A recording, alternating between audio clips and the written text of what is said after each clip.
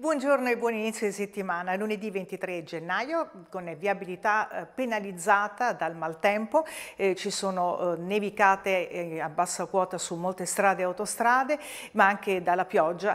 E, mm, andiamo a monitorare le immagini che ci giungono in diretta dalla diramazione di Roma Sud e queste sono le code tra Torre Nova e il Grande Raccordo Anulare. In primo piano andiamo subito in area Ligure per segnalarvi code per cantieri di lavoro tra eh, Ovada e Masone in direzione eh, Genova-Voltri, siamo sulla 26 la Genova Gravellona Toce, code che ritroviamo anche sulla 9 per 3 km tra Uboldo e il bivio della 8 Milano Varese in direzione della Inate.